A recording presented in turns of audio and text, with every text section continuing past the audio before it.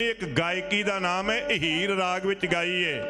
ਪੁਰਾਣੇ ਬਜ਼ੁਰਗ ਗਾਉਂਦੇ ਹੁੰਦੇ ਸੀ ਇਦਾਂ ਦੀਆਂ ਵਾਰਾਂ। ਹੁਣ ਤਾਂ ਲੋਕਾਂ ਵਿੱਚ ਸਾਹ ਸਾਥੀ ਨਹੀਂ ਰਿਹਾ ਤੇ ਨਾ ਕਿਸੇ ਕੋਲ ਸੁਣਨ ਦਾ ਟਾਈਮ ਹੈ। ਕੀ ਹੈ ਕਿਸੇ ਨੇ ਸੁਣਾਉਣਾ ਤੇ ਕੀ ਕਿਸੇ ਨੇ ਸੁਣਨਾ ਹੈ? ਸਮਾਂ ਦੋਹਾਂ ਧੁਰਾਂ ਕੋਲ, ਜਿਹੜਾ ਸੁਣਾਉਣ ਵਾਲਾ ਹੈ, ਉਹਦੇ ਵਿੱਚ ਸਾਹ ਸੱਤ ਨਹੀਂ ਤੇ ਸੁਣਨ ਵਾਸਤੇ ਕਿਸੇ ਕੋਲ ਸਮਾਂ ਨਹੀਂ। ਅੱਗੇ ਤਾਂ ਲੋਕ ਪਿੰਡ ਦੀਆਂ ਸੱਥਾਂ ਤੇ ਖੁੰਡਾਂ ਤੇ ਬੈਠ ਕੇ ਕੋਈ ਕਾਲੀਦਾਸ ਦਾ ਕਿੱਸਾ ਪੜ੍ਹਦਾ ਸੀ, ਕੋਈ ਰੂਪ ਬਸੰਤ ਦਾ। ਕੋਈ ਕਰਤਾਰ ਸਿੰਘ ਕਲਾਸ ਵਾਲੀਏ ਦਾ ਤੇ ਕੋਈ ਜ਼ਿੰਦਗੀ ਬਲਾ ਸਾਧੂ ਦਇਆ ਸਿੰਘ ਦਾ। ਲੋਕ ਕਹਿੰਦੇ ਸੀ ਵਾਹ ਵੀ ਵਾਹ ਤਾਏ ਨੇ ਬੈਂਤ ਪੜਿਆ ਕਮਾਲ ਕਰ ਦਿੱਤੀ ਏ। ਹੁਣ ਨਹੀਂ ਕੋਈ ਪੜਦਾ ਨਾ ਕਿਸੇ ਕੋਲ ਟਾਈਮ ਹੈ ਸੁਣਿਓ ਜਰਾ ਇਹ ਬੱਚੇ ਤੁਹਾਨੂੰ ਹੀਰ ਦਾ ਬੈਂਤ ਸੁਣਾਉਣਗੇ।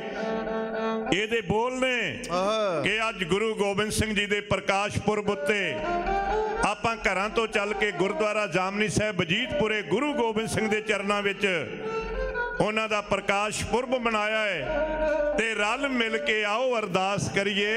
ਆਹ। ਸੁੱਖਾਂ ਦੁੱਖਾਂ ਵਿੱਚ ਦਾਤਾ ਸਹਾਈ ਹੋਵੇ।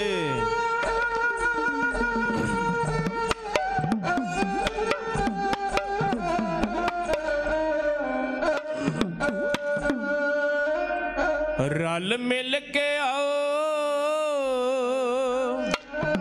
ਅਰਦਾਸ ਕਰੀਏ। ਹਾਂ। ਵਾਹ ਜੀ ਵਾਹ। ਸੁੱਖਾਂ ਦੁੱਖਾਂ ਵਿੱਚ ਦਾਤਾ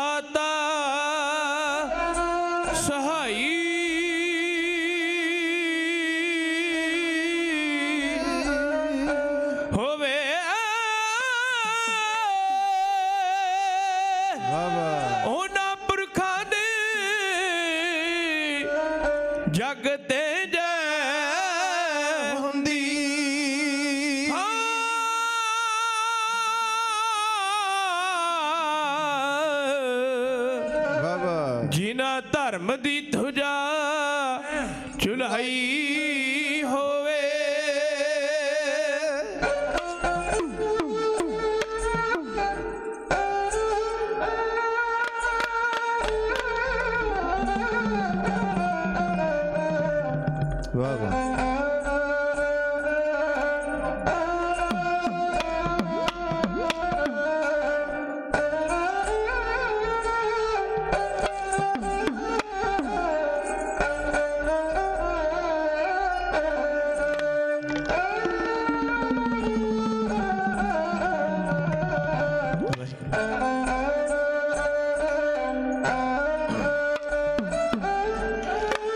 ਰਾਖੀ ਕਰੇ ਜੋ ਗਊ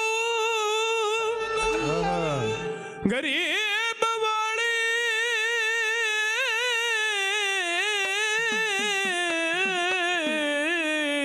ਆ ਜੀ ਭਾਈ ਬਹੁਤ ਅੱਛੇ। ਐਸੇ ਪੁਰਖ ਦੀ ਕਲਾ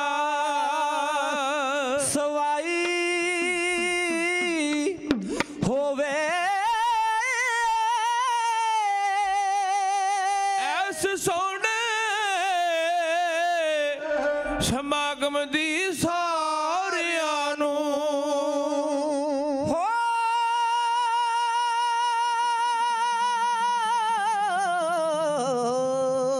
ਢਾਡੀ ਜਥੇ ਵੱਲੋਂ ਲੱਖ ਲੱਖ ਵਧਾਈ ਹੋਵੇ।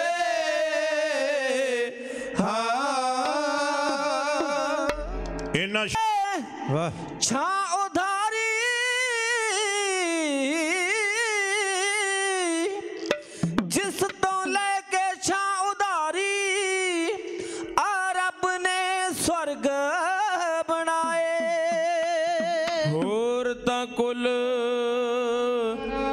ਦੁਨੀਆ ਦੇ ਬੂਟੇ। ਜੜ ਸੁੱਕਿਆ ਮੁਰਝਾਉਂਦੇ ਐ ਪਰ ਫੁੱਲਾਂ ਦੇ ਕੁਮਲਾਇਆ। ਇਹ ਬੂਟਾ ਸੁੱਕ ਜਾਏ।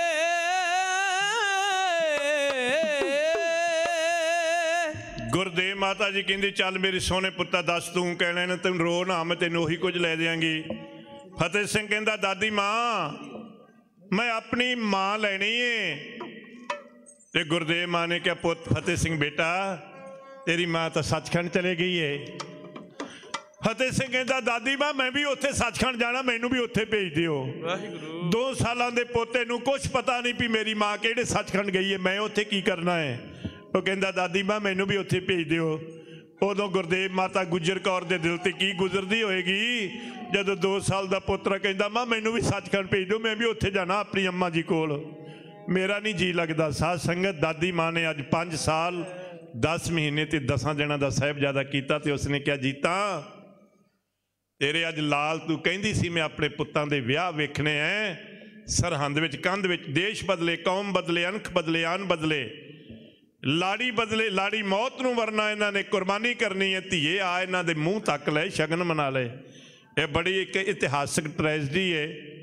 ਲੇਕਿਨ ਨਿਯਤ ਕੀਤਾ ਹੋਇਆ ਸਮਾਂ ਪੂਰਾ ਹੋ ਗਿਆ। ਆਓ, ਇੱਕ ਬੰਦ ਤੁਹਾਨੂੰ ਇਹ ਭਾਈ ਰਜੀਵਨ ਸਿੰਘ ਜੀ ਬੀਲਾ ਬਰਨਾਲੇ ਤੋਂ ਚੱਲ ਕੇ ਸਵੇਰੇ ਇੱਥੇ ਬਜੀਤਪੁਰ ਆਏ ਹੈ। ਦੇਖ ਲਓ, ਇੰਨੀ ਦੂਰੋਂ ਚੱਲ ਕੇ ਆਉਣਾ, ਫਿਰ ਗੁਰੂ ਦੀ ਸਿਫਤ ਸਲਾਹ ਕਰਨੀ। ਜਦੋਂ ਗੁਰੂ